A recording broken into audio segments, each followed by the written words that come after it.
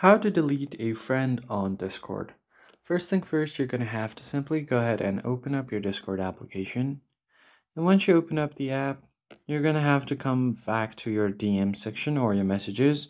Now, select the friend that you want to remove. And then once you've done that, select on their profile right here. Now, uh, once you tap on their profile, it will show you their bio, their username, and everything else.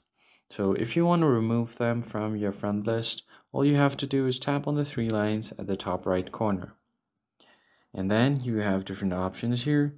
So you could go to their profile, close DMs, mark as read, and many more. So now you're just going to have to go ahead and tap on the profile option right here. And at the top right, you have different options. You can ignore the messages, block them, and re report the profile. But right besides that, you have this friends option.